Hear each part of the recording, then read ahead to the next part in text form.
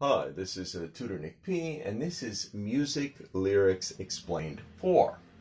Alright, um, the music tonight is by the Righteous Brothers, uh, and the, the, name of the song is Unchained Melody. Alright, probably most students would know this because this was the famous uh, song from the very, very old movie Ghost about 20, 20 years ago or 30 years ago. Uh, and of course, the song has been around for a very long time. It's been around all the way since 1955.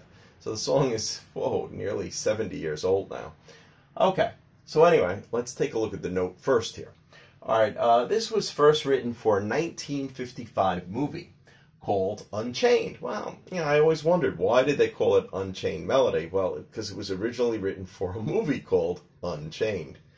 Okay, the story was about a man in jail uh, he is torn about whether he should uh, behave, you know, and do his time, meaning spend his time in jail, or try to escape so he can see his wife that he is deeply in love with uh, and misses terribly. So he was torn whether he should do this. So this was the basis of, you know, why they had this uh, song in the movie. All right, let's continue here. Uh, many people can relate uh, to the deep feeling in this song, especially people who have long distance relationships where, you know, maybe uh, the person they love is stationed far away or living far away uh, and they can't see them all the time. They often are touched, especially by this song. Um, okay. Uh, or need or are forced to be away. Yeah, like maybe, you know, soldiers uh, who are stationed overseas, or maybe people in prison, just like maybe the original movie. Uh, uh, or are separated from the one they love for whatever reason.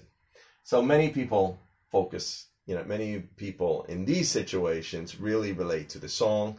Uh, I've heard it's also one of the uh, most famous slow dancing songs, like at a, at a disco. If the you know there was a couple and the slow dance comes on, this was always a famous classic one for that as well. Okay, and just like usual, I'll go over the lyrics and we'll uh, we'll check back here with some vocabulary. All right. Anyway, uh, this is if you remember, this is the way it starts. Oh my love, my darling. Well, remember, of course, darling is a term of endearment, like you know, honey or sweetheart. Okay. Uh, I've hungered for your touch. I remember if we say to hunger for something, it means to have an intense or very serious yearning or need for. So you hunger for it. We often hear hunger for somebody's love. I, actually think I did a verb phrase uh, video on hunger for as well, uh, where I mentioned it's often in a lot of songs, uh, meaning expressing deep love. So hunger for your touch you know, and, and, and the, the, the song itself, if you know it, of course, very slow moving. You know, your hunger for your touch. You could almost, you know, could almost feel the touch, you know, like of somebody, you know, who loves you touching you, actually like giving you chills. So that's kind of that's kind of the idea for behind it. So uh, again, let's continue. So, oh my love, my darling. I hungered for your touch a long, lonely time. So, of course, he spent a long time away, and of course, very, very lonely. Uh, time goes by so slowly, and time can do so much. All right, yeah, of course, you know, anytime you're missing somebody, or you know you're waiting for something you really want time does seem to go by very very slowly seems much longer than ever. And time can do so much meaning that like when you're separated from somebody who you really really love uh, you start to realize things. You, you realize how deep your feelings are for that person how much you really love them. So that's why it says and time can do so much i mean it, it can make you realize these things. It can make you feel those things. Okay uh, so love. All right. Um, and you got so much. Uh, are you still mine? and they really stretch that out. I don't know if my voice is good enough to do that. But uh, yeah, of course, you know, just like the original story, if the guy was in jail, you know, or or you're separated from somebody, can't see them all the time, you you, you really don't know what's going on with them. You you hope that they are faithful to you. Uh, so you're asking, are you still mine? Uh, do you still have those feelings for me uh, that that that I feel now? Are you still mine? Did did you give your love to somebody else? Mm-hmm. Okay. Uh, and then, of course, he goes, you know, I need your love. I need your love. Godspeed your love to. You know, something like that.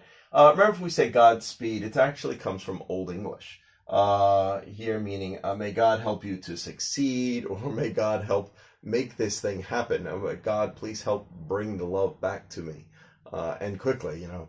Uh, may God speed your love to me. Mm-hmm. Okay. And then, of course, it goes on. Lonely rivers flow to the sea, to the sea. All right, why is he saying rivers? I don't know. Maybe it's in association with like water and tears. Uh, and of course, the river. Maybe you're imagining a lonely river.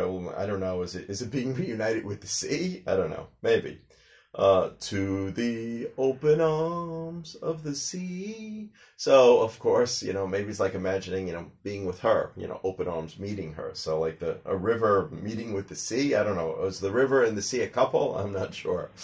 Uh, lonely river sigh. All right, remember if we say to sigh. Uh, the act of breathing out slowly, making a long, loud sound like, you know, uh, we do it for a number of reasons. Sometimes we do it because we're bored.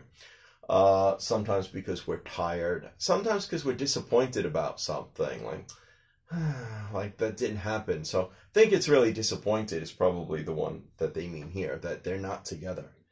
Okay. So yeah, uh, you know, wait for me, wait for me, like please wait for me.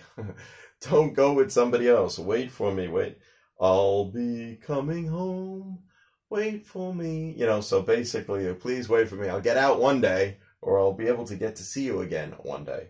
And then, of course, it goes through the whole chorus again, you know, oh my love. All right. And until we get to the next part. And the next part, of course, is uh, lonely mountains gaze at the stars, at the stars. So he's really using nature here. Of course, stars are romantic. It might be pretty good to use that.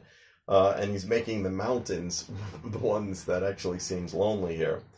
Uh, waiting for the dawn of the day. All right, so if you're waiting for the dawn, dawn sounds like a new beginning, you know. So maybe when they can finally be reunited, hopefully. Uh, uh, all alone I gaze at the stars, at the stars, dreaming of my love far away. You know, so basically, again, missing, missing them. Your love far away, mm, can't be together. And again, uh, we we have another chorus again where again it goes into "Oh my love." Of course, we can skip that because we already covered all the vocabulary there. Um, yeah, and uh, and that's basically it. That's basically it. Again, it was one of the most romantic movies that we remember is, uh, is the one with ghosts. So that's what most people associate this movie with ghosts. that's probably what's always on their mind. But for some people, this song is a very personal song and really touches their heart uh, when they think of like missing the person that they really love and they have to be away from. Okay, anyway, uh, I hope you got it. Um, uh, I hope it was food for thought. Uh, thank you for your time. Bye bye.